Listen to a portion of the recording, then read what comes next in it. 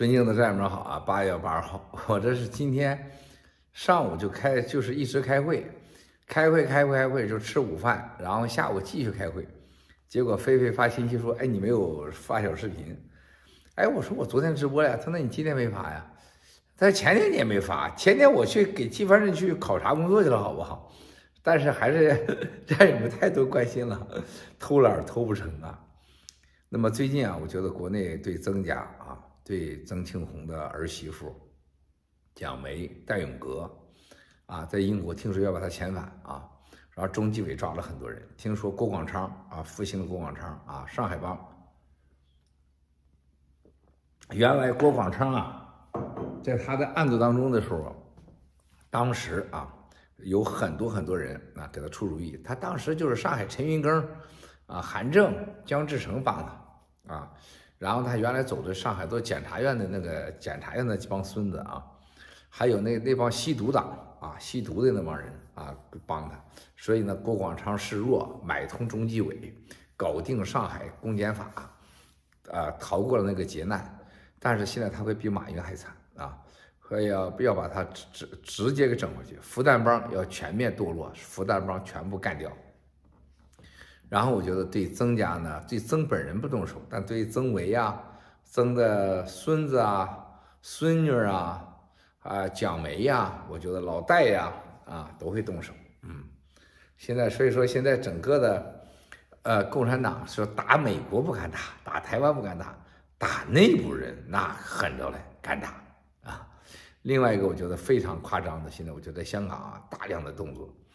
在香港，他们查出了过去都是天案，听说，而且中纪委内部抓了很多人，听说对孟建柱的整个孟建柱帮、孙立军帮，啊，全面要开始啊清剿，但是他清剿不了啊，王小红他动不了他们，王小红想动孟建柱那是不可能的啊，他的那个那个力量太小了，啊，严格讲，就像孙立军原来说王小红似的，他说王小红最多当一个。啊，地方的县局局长啊，这孙立军看不起王小红，那孟建柱就更看不起了啊啊！然后呢，这个当时孟建柱对王小红说什么？没党性啊，就是没不是没组织纪律啊，没有这个公检，没有呃这个政政法经验啊，还有一个是没有什么几个没有啊，所以说当时孟和孙立军看不起他的。他搞不定他们，但是我觉得弄不好啊，他这个王小红搞那么多弄不好，他被人给搞了。那你看这这戏会很大，所以说最近他查的这些案子当中啊，包括香港，他一深入，那他就进入危险区了。香港是孟家、孙立军啊，严格讲是曾家和上海帮的呃利益集团啊，那你你你来了，王小红来了，那人家就是非要干掉你不行的啊，那是肯定的。所以说这场大戏要开始，包括张宏伟这个孙子，张宏伟的儿子儿媳妇，张宏伟的家人可能都要出事儿啊，因为张宏伟这个搞定了像陈元啊，是吧？陈元的家人呢，包括现在陈元那帮啊都被抓以后都供出来了。那么现在听说最近都是带出了案中案、窝中案啊，像这几个大银行都出来了，大基金啊，很夸张的，很夸张，而且最近呢。这个从海外带走了不少人，啊，所以最近他们在英国呀，把戴永革想办法弄回去。听说出了天价，要在二十大以前要把戴永革给弄回去啊，这叫是大事儿。最近在澳门、在香港抓回去不少人，那是无知愚蠢的人多着呢，啊，听说都是非常几个大人物啊，悄悄遣返回香港，结果在香港给逮住回去了。还有几个就政治局呀、什么常委的亲戚啊什么的。小舅子、大姨子的说在香港谈谈啊，还有的约了在新加坡谈，直接给弄回去了。所以说大家记住，千万不要以为政治局啊、什么常委家人的智商、情商就比老百姓高，一点儿都不高，愚蠢着呢。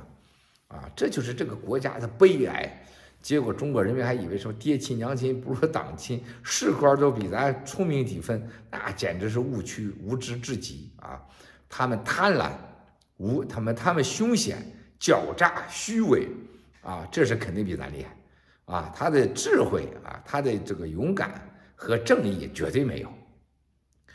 最近咱们战友在国内的是吧？这个被喝茶的出来以后，各种经验啊，就能发现，就是这这不能提七哥啊，郭文贵这仨字儿，简直是他们就不敢提，谁不敢提？一提就吓死他。内部发文也不能提啊，啥也不能说啊。某个战友说，他这个呃旁边办案组的人啊，就是说到这说这个我的时候啊，就是那个人还有这个姓郭的那小子啊。然后就说那个那个那个爆头啊，爆料的头啊，还有那什么这个这个反党的头啊，就是说的是我，啊，就吓到这种程度，为什么？这就是看到美国，他们不想让美国人知道啊，七哥是中国共产党那么大的威胁，啊，他不想让美国和西方世界知道，我们已经爆料革命新新中国联邦给他带来了巨大的说威胁。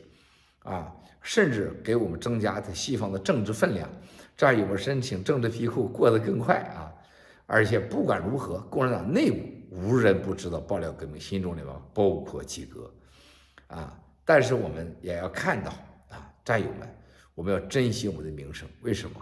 很多人都希望我们呐，很多人希望我们成功啊！啊，在这个宁夏啊，在宁夏某个战友被抓了。出来之后，啊，出来被关的地方，啊，到旁边，啊，就是啥都没了，是不是？进去的时候啥也没带走，出来的时候，走吧，啊，抱着手机，手机也没电了，啊，出来门口的时候就走到旁边，说我这因为啥啥被在旁边，你们都知道了，看守所把我关在这儿了，我手机也没电了，接你们电话，打个电话接接。他说你说啥？什么被抓的？爆料革命，郭文贵。关多少天啊？这哥们说关了两三周啊，进屋洗澡吃饭，啊，啥也别说啊，我开车送你回家，我开车送你回去，在路上告诉他，啊，我是多少年？二零一七年就跟着七哥，感动坏了这个战友，感动坏了啊。然后呢，这这说了很多很多这样的故事。这位战友说，我在这个地方接出去的，看到的。啊，因为爆料革命被抓的，他说最起码几十个，啊，最起码几十个。所以战友们，你在内部人你要知道啊，支持爆料革命啊，支持新中国联邦，你要安全，不要无谓的被抓。你要学会要保护自己，要有基本的常识。所有人被抓都是电脑和手机上网出了问题，啊，然后有部分人是九指妖、蛇妖言，这个这个这个陆大脑的这个孙子给咱供出去的，啊。要不然没有任何事儿啊，没有任何事儿。这些人绝大多数啊，绝大多数战友都挺得住啊，都是英雄，展示了中国人的本质啊，不像共产党的那种口炮党啊。战友们都很挺得住，这也是七哥发自内心的觉得爆料革命跟战友们很值啊，值跟你们啊。所以说七哥越战越勇啊，越战越快乐。所以说都忘掉了给你们录小视频了。抱歉，抱歉，抱歉啊！这个明天开始起，我这不能不能忘了。哎呀，很多话要说。现在台湾的事情成为世界的重中之重。突然我发现，西方世界良心发现，对不住台湾，想着对不住台湾，着想着对不住香港了。啊，这几天简直是疯了！共产党在台湾绝对是彻底完蛋。美军啊，澳军、日军啊，会大量的驻扎在台海。啊，而且就让你共产党开枪，记住我这话，就会让共产党开枪，啊，然后随着共产党在整个英国、新加坡、澳大利亚等这些国家的，还包括柬埔寨、越南大量的诱捕抓捕，党内大家都害怕啊，然后南海不知道哪天嘣就干了，是吧？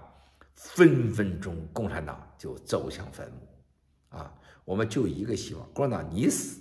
是必然的，你别带走那么多好人啊！这是我们要努力的，胜利就在眼前，兄弟姐妹们。